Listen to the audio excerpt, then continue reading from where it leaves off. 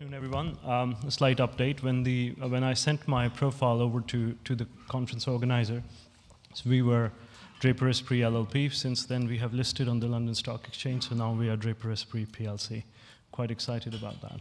So um, I will start with my slides, if I could have them. Um, yeah. So uh, I was invited to speak about genomics. Um, and this is um, something which we, uh, most of us uh, are exposed to in, in, regular press these days about how much progress we are making in genomics and, and how that is going to transform our, our health. And so I thought I'll put something together which is going to crystallize of where we are and where might, we might go from here. So um, before I start, I, I, want to kind of put the landscape as an investor of what, what um, digital health what we feel digital health is and what we do do every day. So this is um, this is the, the principle. My, my, investment philosophy starts from here. That um, we have a view on what the future of healthcare will, will look like and how it will be, be achieved. And we are on our way to trying to find the most exciting uh, in innovations and most, most exciting opportunities to invest into. And in, along the way, we meet things like big data, genomics, connectivity, artificial intelligence. But as, as um, I was discussing with someone around lunchtime, is that we, we don't obsess about whether something has AI or try and put AI onto everything that we see. We actually first try and put it in context of what impact it might have on healthcare or, and on human life before we, we look at things. Um, so this is how uh, so a classic two by two matrix that, that we follow, which is technological innovation and, and business model innovation on one axis and B2C and B2B um, business models on the other axis. And this is, um, so you will see here all the various different businesses we see and you, you hear about. And these are essentially um, the various applications of digital technology onto the healthcare industry and, and they, they, this is how, how it maps, maps up. I have a portfolio of about eight digital health companies, and this is how they map on there. So, so this is uh, Push Doctor, which is a, um, a medical consultation business, Horizon, which is a CRISPR genomics platform, FrameShift, which is a, um, a, a high-end um, shift management uh, software, Fluidic Analytics, Mimi, which is a hearing aid product for, for people uh, which can work on an iPhone. Uh, Duo Fertility, which is, which is a, a wearable device for people who want to, want to get pregnant. Uh, My Recovery, which is uh, another one of pa patient management uh, platform. And then um, Omixi, which is a consumer genomics play. So this is how my portfolio maps onto what, what we see as, as the digital health uh, opportunity out there. Um, so one thing it would be good, good to start is uh, where exactly are we today? What, what, is, um, uh, what is the landscape? So let's start with the good news. Um, so we are somewhere on this chart. This, is, this shows life expectancy at birth. This is weighted average for the whole world, given that this is World Digital Health Congress. Um, and essentially, we live a lot longer than we used to live. And that's fantastic news. Um, if you look at survival after being diagnosed with cancer, you know, things are, things are looking up. But not everything is, is good news because death is still very common. It seems to happen quite regularly. It seems to happen to most people at least once. Um, and, and these are the common causes in the US of, of death. And so we have not really conquered death yet. And, and this is what, what happens. But we have done something interesting. But we know who the enemy is. We know these are the things we do every day which um, lead us to, to, to die. Um, so, you know, all the things we used to do for fun are on there. Um, so, so that's basically what it is. And, you know, at the end of this conference, we will go down to have some alcohol. But notice, alcohol actually improves your, your survival. As the curve goes left. But that's only if you have two drinks because people rapidly slip from there to right to the other end where they have an injury and then they die. So that's what, what, what happens. So, anyway, um, so this is, this is what, what, what progress we have made. We have, we have reduced mortality. We have reduced mortality from, from many causes. Most of the reasons we die of are, are somewhat within our control. So that brings us back to the question, so where exactly are we? So if you use a very generic uh, graph here, where on the vertical axis we have human progress. This could be anything. This could be speed at which cars uh, drive, infant mortality uh, reduction, it could be uh, longevity, it could be many other things. And on the horizontal axis is time. So the question that one, one, you know, it's quite clear that it's kind of going up, right? This green line is pretty much okay. Um, so, but the question then is that are we at A, are we at B, or are we at C? And if you were, if A was 1960 and B was 1990, that kind of makes sense. We've kind of progressed a little bit. If B was 19, 1970 uh, and C is 1990, that would make sense too. But why is it so important to know where we are? And there's just one reason to know where we are, which is what if this is about to happen? What if something about uh, in human progress is about to go this way? And if you were this person who's standing here looking backwards because that's all you can do, you wouldn't know it was about to happen. So, if you look around, there are a lot of technologies that are growing at exponential rates, and some of those technologies are having impact on things. For example, the speed of the computer that you have in your pocket just now is faster than the fastest computer that existed in 1980. That is quite a bit like that um, on a scale of human existence. So what is the other thing that, that so one of, the, one of the things I do is look for what other things could be doing this. And could I be the guy not looking that way but looking this way? And genomics seems to be one of those things. It fits some of those criteria. So here's um, a chart which shows the, the black line is Moore's law. So Moore's law is responsible for giving you that fast computer you have in your pocket in such a short period of time at a price you can afford. Not only you, 3 billion people in the world can afford it. So that is what, what is the underlying dynamic on which the whole of the technology industry is based. Now, if you compare that to the price of sequencing a genome, you can see that since October 2006, genomics has been beating Moore's law. And most people haven't even heard about it. And this chart is almost certainly out of date because I, am pretty sure that the, that the cost of uh, sequencing a genome is going to be falling faster than what, what we see in this curve. What happened to the speed? So genomics is a second coming for me. I, when I was a junior doctor, um, my research was in genomics. I used to work for the Wellcome Trust, which was one of the investors in the Human Genome Project. And I was around when that happened. You see that from 1995 to about 1998, it kind of grows at a certain speed and then it slows down and then it kind of goes vertical.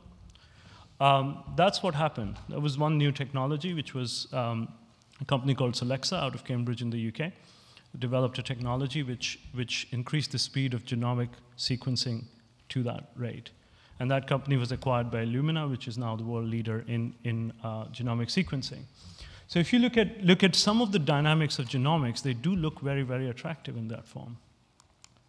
So what happens when something, um, the speed goes up and price goes down? This is what happens. The number of genomes being sequenced is, again, a pretty vertical curve. So it's predicted that in, in 2025, you will have tens of billions of genomes being sequenced. So that's another interesting dynamic. So where did we come from? So when I started medical school, we, we, used to do genetics. There was no genomics. Genetics was more like cottage industry, where you do one thing at a time. People used to find a gene for a disease, uh, and that would be their favorite gene. They would then do research on that gene for the rest of their, their careers. And they were like hunter-gatherers. Um, and then what we have done when we do genomics is we've kind of industrialized that process. And if you then look around, what other industries have have gone through that, that whole transformation, you can see almost every other industry has gone through a cottage industry stage and then industrialization stage. And when industrialization happens, new applications get, get figured out and lots and lots of people get it. So maybe that's about to happen. Um, so to give you an idea of the gap between, um, between uh, cottage industry down to where we are today. Um, in 1999 2000, there was a big battle on between Celera Genomics, which was a company in California, and the Human Genome Project, which was the publicly funded project. And Craig Venter, who's a, who's a pioneer in that field, decided that he's going to completely change the dynamics. So he went and bought 261 ABI sequences. That was the most expensive sequencing machine you could buy. He, he didn't buy one or two or three. He bought 261 of those, put them in a lab, and started to sequence the genome. This is what we in the public program had been doing for about 10 years. And he decided to sequence the whole genome in nine months. And that was seen as a major, major achievement. Last time I heard Craig, he said he's now bought one machine, which is this one, which is the HiSeq X10 machine. He bought, he's bought two of these. And one of these machines does 40,000 genomes in a year. That gives you an idea of the scale of the vertical part of the curve that we are on. That's the speed at which we are doing it. So when you move from being a, a, cottage industry geneticist to genomicist, this is, this is kind of what happens when there's an elephant and there are lots of blind people trying to figure out what it is. They all have a view because they have a very narrow tunnel vision, or no vision in this case, but they, they are able to see very small parts of it. So somebody thinks, thinks it's like a rope, somebody thinks it's like a snake, somebody thinks it's like a mat. But when you actually see the big picture, you realize it's none of those things. And that's what we are currently realizing when we start, start looking at the world in a, in a, on, on a bigger scale. So when, when, when I was training, a biologist would say, well, one gene means one protein, a biochemist would say one gene, one enzyme, and a physician would say one gene, one disease. And you know, I'm sitting there saying, why are you not looking at the, at the big picture? And that's what has started to, to occur. And that, I think, is a fundamental shift in, in, in the way we think about it. But when, you know, it's, it's, you know, the simplified version of, of genomics is that we have, um, we have six billion base pairs and we read them from one end to the other. But that's just the beginning. Because it's not just reading. We have started writing the genome now. We have started to cut and paste like you do on your computer on, on our DNA, and we can use the, uh, technologies like CRISPR, where we can, with high level of efficiency, cut a particular piece of DNA that we don't like and replace it with another piece of DNA that, that may be better for you. And this can be done um, relatively easily. It can be done at a very high speed. And then another thing which we can't forget is that it's not just us. We can be arrogant and think, think that we are just the, the guys who have a genome, but every living organism has has a genome, and we've sequenced hundreds of these. This is the genome of zebrafish. Um, I mean, the only reason I don't think you care, but the only reason I, I put it there was to see the overlap. If you see the, see the overlaps of how much we have common with zebrafish, that kind of puts us in our place, doesn't it? So, um, so that's, so that's basically the technology and what's happening and what's, what's happening in the background, why I'm excited about, about this being another exponential technology that we may just be at the cusp of. So what, what, so what, right? Someone's going to say, yeah, I've seen a lot of, lot of slides. What, what does that actually mean? What are the real applications? There are a number of real applications which are currently available. These applications are, are things that we are not talking about things that are uh, you hear on TV and, and then they say, well, how far is it really? Oh, it's going to be 10, 20 years before this actually happens. So, so I'll, I'll walk you through some of the examples of where genomic technology is actually making a difference or has already made a difference. You may or may not have, have encountered that. I think the other thing which it, it puts in perspective is that it's not going to be a long time before we are all genetically modified. There are all these people who are worried about you know, eating genetically modified food. And in some years from now, you'll probably be sitting there saying, actually, some of my best friends are genetically modified. And that's probably going to happen. And it's, it's, it's about to, to, to happen in that way. So look at oncology. This is one of the areas where, where genomics is having, uh, having a very, very deep impact and very rapidly. And these are ways where we can edit people's DNA to find out to, to change, change the, uh, um, the constitution of, the, of their cells. We can stratify patients better. We can take a blood sample for them, from them and do what is called a liquid biopsy and sequence the DNA we find, and we can find that the tumor which we thought had, has go, had gone has come back. We can look at a particular sequence and find out that the drug we are about to give to a patient is not going to work because they have a different oncogene which is activated, and that oncogene does not respond to this particular drug. This is already happening. There are pa- patients around the world who are receiving treatment like that. This is um, another application of genomics, which is in uh, prenatal diagnosis. So, if you um, are about to have a child, you may want to know if the child may suffer from, from uh, a condition that, that may be relevant. And now you can do that from blood. You can take a blood sample of the mother, and look, this is not science fiction, this is really true. Through the placenta, the DNA of the, of the fetus crosses across, goes into the bloodstream of the mother, where we can find it and we can sequence, it, and we can find out without any risk to the fetus what the DNA constitution of the, of the baby will be. Um, if you look at, at the bottom, this is a, uh, a collaboration um, started by uh, Duke University where they are sequencing the genomes of 100,000 newborns. So when a child is born and the child ends up in, in an intensive care unit within the first five days of its life, the probability of that problem being genetic is extremely high because the child has not interacted with the environment in the same way. The child has not been smoking, has not been having fatty food, etc. So the probability of that condition being related to genetics is much larger. So now they're testing out to see if we can sequence the DNA and find out what, is, what might be the reason for that? Uh, precision medicine, this is, um, uh, this is another. Um, uh, so, uh, one of the things we do we, when we classify diseases, we, did, we use um, whatever means we have available to distinguish one disease from another. So, type 1 versus type 2 diabetes. But that is dependent on the, our ability of how much information we can get about the, about the patient. And so, currently, you see that's how diabetes is classified, and most people who have diabetes don't necessarily uh, won't know which one they have out there. But in the future, it will probably look more like this tree, when we'll, we'll be able to distinguish various patients with, with diabetes. They have slightly different versions of diabetes, and then we'll know which drugs work for, for which people in what way. On the left-hand side, you will see this, this paper, which is from actually not, it's actually only two weeks old.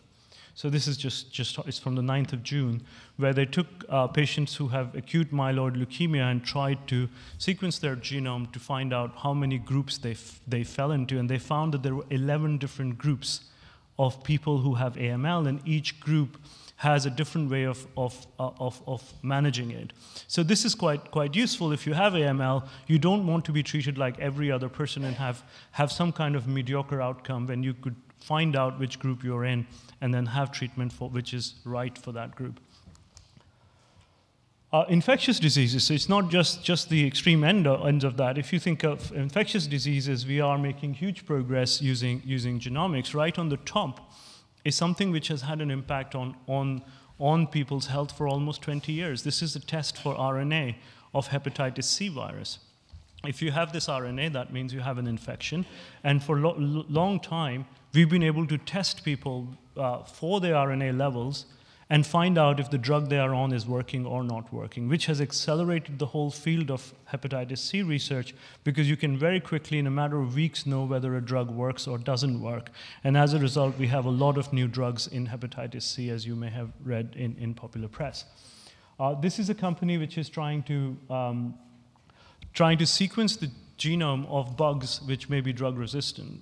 So what happens currently is the way you find out that someone's resistant to a particular drug is you give them the drug and they don't get, get better.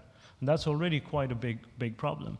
So this company, uh, which is called 1928 uh, Diagnostics, based in Copenhagen, they can sequence the DNA. Uh, and on, on the top left, I don't know if you can see it very clearly on the slide, this is a software called Microbe. It takes the data that comes out of a DNA sequencer and is able to identify if the bug which is in the sample is, is resistant to a particular drug.